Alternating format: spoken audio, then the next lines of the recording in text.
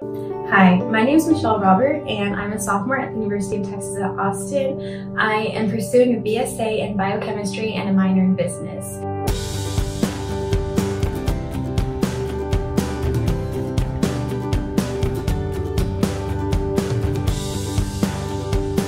And if you're watching this video, then that means you're interested in applying at UT and I'm here to tell you why you should.